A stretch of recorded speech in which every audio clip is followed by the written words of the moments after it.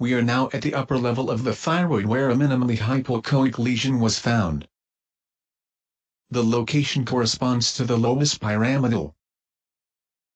The lesion binds to the thyroid gland with a thin handle, so by definition it is not aberrant thyroid tissue,